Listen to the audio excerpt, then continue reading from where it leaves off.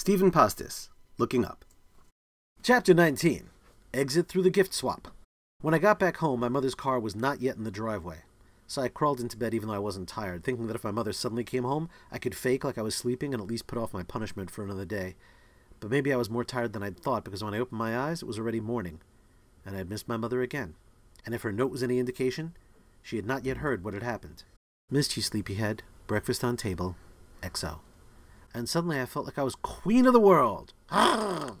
Why? Because my mother didn't know what had happened by that point. It meant Daniel's uncle was probably not going to tell her. And maybe that was because he wanted us to be on good terms. And the only reason he'd want that is if we were going to be neighbors for a long time. And that meant he had not yet sold the house. So maybe that couple had had second thoughts after all. I'm having second thoughts? All of which meant that Daniel wasn't going anywhere soon. And news like that can make a knight walk with a certain spring in her step. And so I give an extra morning pat to each of my rescue animals pate, pate, pate, and said something to Dr. Rutherford B. Hayes that I should have said long ago. I'm sorry for dropping you off the roof like an orange. And after eating my breakfast, I even did the dishes, because even though my mother hadn't found out what I'd done, I felt I owed her an apology too.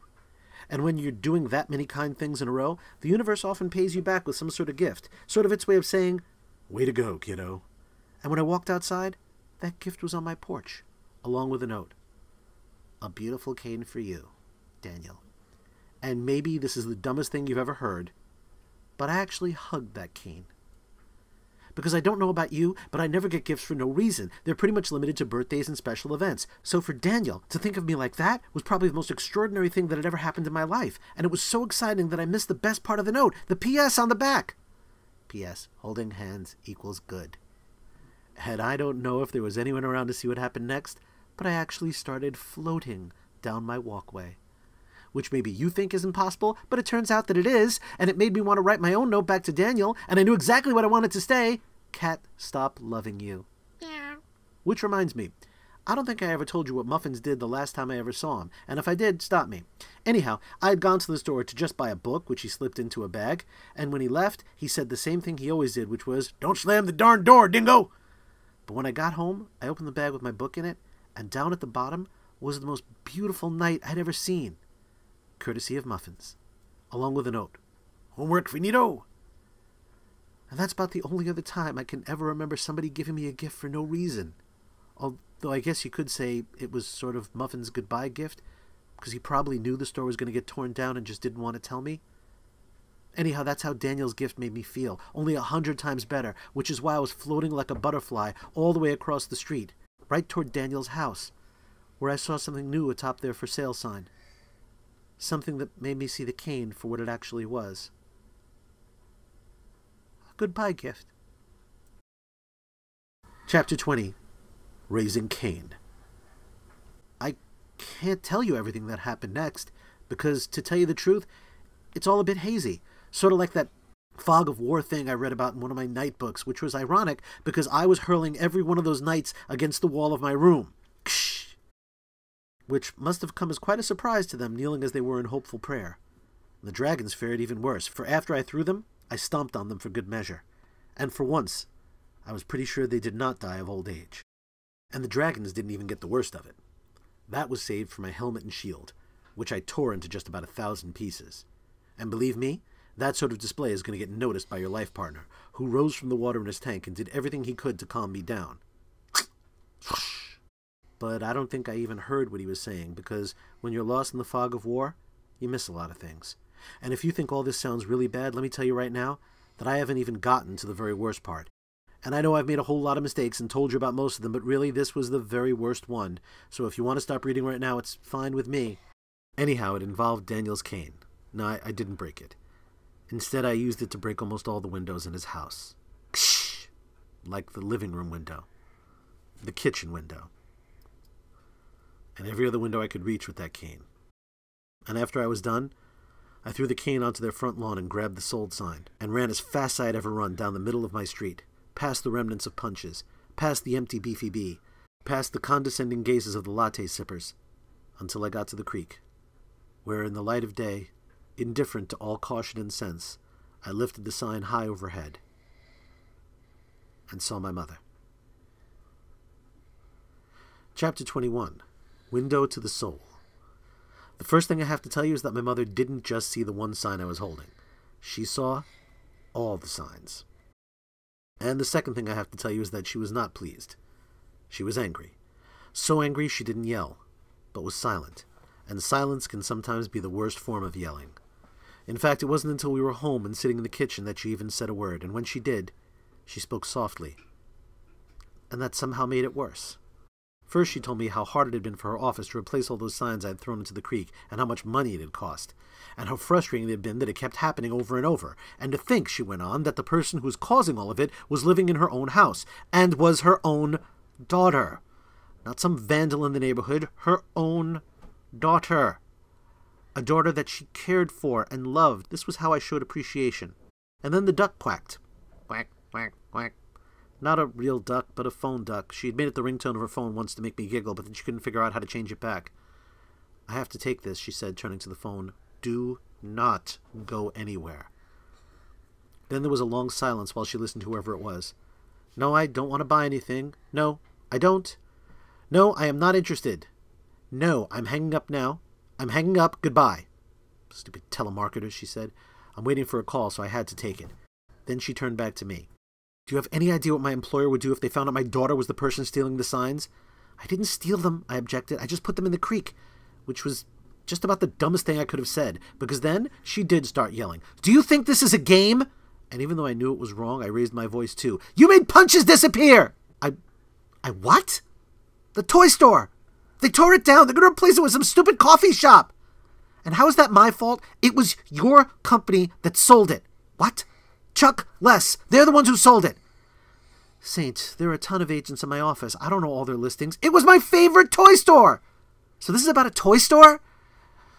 It wasn't just a toy store. Saint, I'm very sorry they tore it down, but if you think you're going to get out of this by saying you were upset about a toy store, you are mistaken. It wasn't just a toy store. Everything is gone. Everything is changing. All the stuff I love, it's disappearing. Saint, that happens everywhere. Places go away, new places come, in every town, everywhere. Wrong! What do you mean wrong? They happen because you make them happen. Saint, I'm a real estate agent. That's my job, she said, pointing to all the files that she kept in the kitchen, which she sometimes used as an office. I help people who want to sell homes and businesses, and I don't sell the properties. They do. And by the way, it's the income from that job that allows me to take care of you, for which you seem to have absolutely zero appreciation. But you're ruining everything! I'm not ruining anything! I don't even know what you're talking about. Do you have any idea how much money we owe? Hospital bills from the car accident that I'll be paying back for the rest of my life? So I have a job, Saint. A job that barely keeps us above water as it is. Can you understand any of that? But I want punches to be right where it was. Is that what this is about? Yes! I want punches back! Is that what this is about? She asked again. Yes! Right on the corner where it was! Is that what this is about? She repeated, moving closer to me. I want things to be like they were! Is that what this is about? She said, grabbing me by the shoulders, her trembling face almost touching mine. And then I just started to sob and between sobs, said something I had never said to her before. I miss Dad. And when I said it, my mother grabbed me with both her arms and held me just about as tightly as I'd ever been held by anyone. I really miss him, I said again, and I just kept crying. I want everything to be like it was. And for a long time, neither one of us said a word. Until finally my mom took my face in her hands and said, Saint, if there was anything I could do to change that and bring him back to this world, I would. But I can't. Oh, sweetie, I promise you, I would do anything. But I just kept crying. I miss all those Sundays he took me to punches. Oh, sweetie, she said, still holding me, rocking me. Oh, sweetie. And then, wouldn't you know it, the duck quacked again. Quack, Whack, whack. Ah! She grunted, grabbing the phone and trying desperately to make it stop, which she couldn't. So she flung it across the room, where it landed in the couch's cushions, which at least partially muffled the duck. Whack, whack, whack. Then she knelt once again in front of me. Saint, instead of doing all the stuff that you did, which was bad, really bad. You should have just talked to me. I wanted to, but I couldn't. What do you mean you couldn't? You're never home, I said. Baby, you know I work. But I'm by myself all the time. Not all the time, she said. I'm home at night. Well, a lot of the time. I'm sorry, sweetheart, but it's just me. I don't have anyone to help me, and I can't afford a nanny or even a babysitter, and I'm responsible for you, for working, for everything. I hate being alone. Sweetie, I'm doing the best that I can.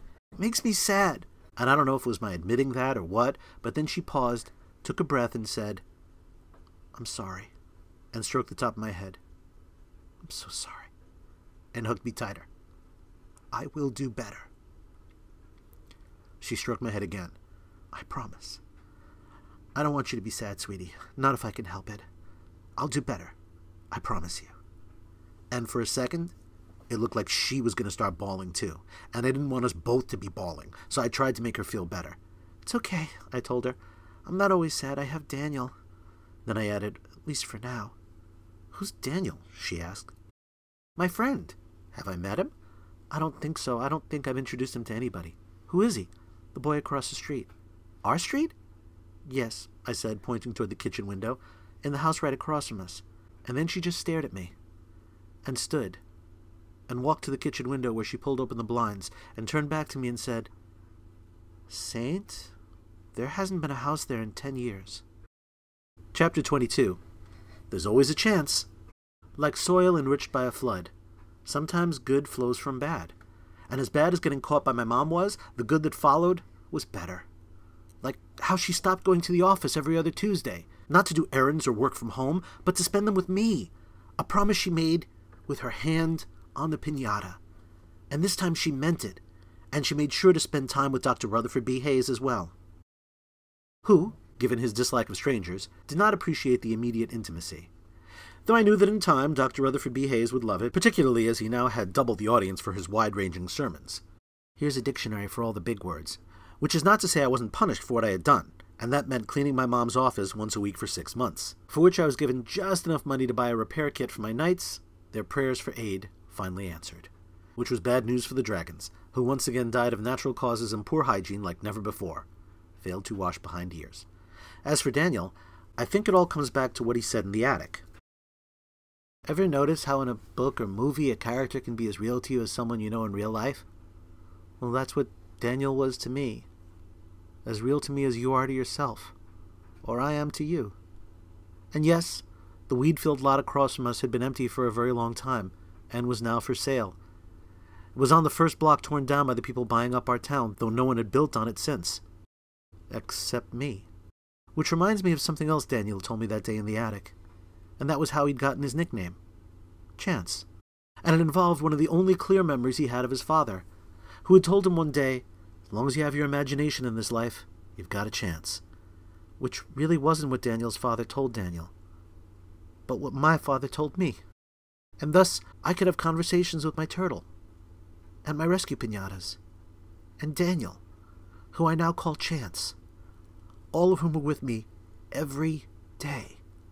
For every moment alone, and every moment I walked through a changing life and a changing city.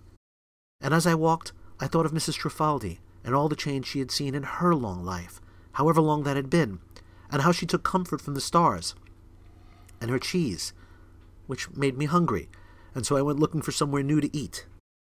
And wouldn't you know it, maybe all that positive thought got noticed by the universe or something, because then I saw this the Beefy Bee, grand reopening, under new management. How that happened, I had no idea, and didn't much care. All I knew was that the beefy bee was back, and while there was no more sparrow to be found at the order window, there was someone even better. And I'm telling you, when I saw Muffins in that window, I wanted to hug his grumpy head right there.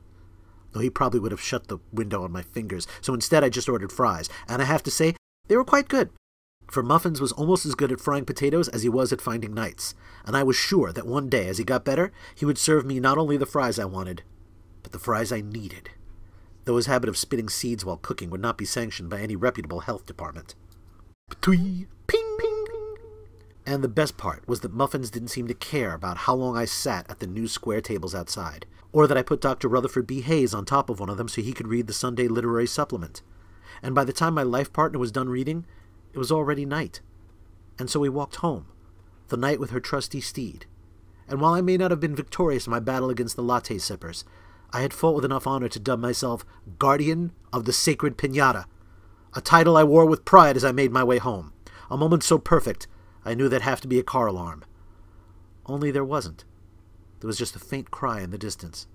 Gosh darn Baby Bell! And that's the thing about life.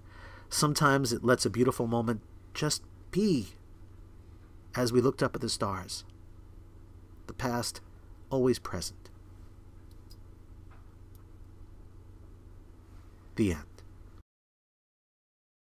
Special thanks to Karen Papraki for all her wonderful help with the cover design for this book, and to Kara Sargent for being the best editor ever. Stephan Pastis is the creator of the syndicated comic strip Pearls Before Swine, which appears in over 800 newspapers. He is also the creator of the Timmy Failure book series and the co-writer of Disney Plus movie Timmy Failure: Mistakes Were Made. He lives in Northern California with his wife and two kids.